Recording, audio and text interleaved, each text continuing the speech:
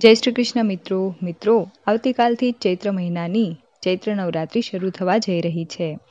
તો નવરાત્રિના પહેલા દિવસે કળશની સ્થાપના કેવી રીતે કરવી અને તેના શુભ મુહૂર્ત અને પૂજા વિધિ વિશે આજે આપણે વાત કરવા જઈ રહ્યા છીએ.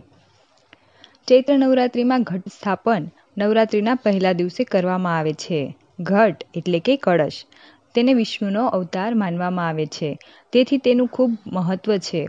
તો ચાલો જાણીએ કે તેનું કેમ મહત્ત્વ છે અને કળશ સ્થાપન, મુહૂર્ત અને પૂજન વિધિ પણ જાણીએ.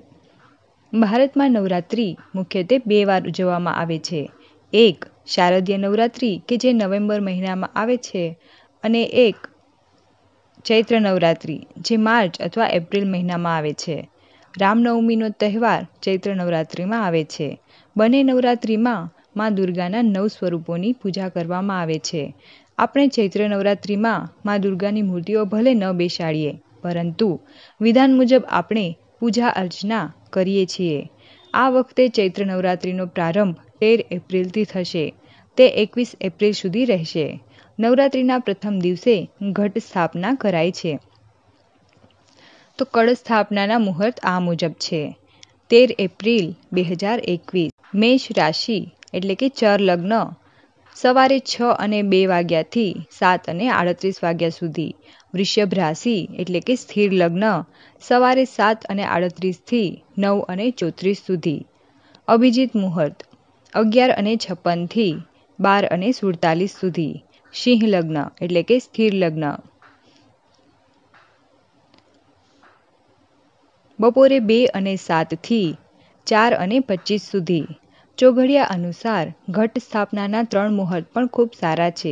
સવારે નવ અને અગિયાર અને બપોરે બે અને છપ્પન સુધી. ત્યાં ચર, લાભ અને અમૃતના ચોઘડિયા હશે, જે સ્થાપના માટે ખૂબ સારા છે. તો આવે જાણીએ કેવી રીતે આપણે કળશની સ્થાપના કરવી જોઈએ. આ દિવસે સવારે વહેલા ઉઠવું જોઈએ, ત્યારબાદ નહાવા અને સાફ કપડાં પહેરવા જોઈએ. આ પછી મંદિરને સારી રીતે સાફ કરવું અને લાકડાનો પાટલો લો અને તેના પર લાલ અથવા સફેદ કપડાં પાથરવું જોઈએ. કપડાં ઉપર ચોખા રાખો અને માટીના વાસણમાં જવું વાવો. આ વાસણ પર પાણીનો કળશ મૂકો.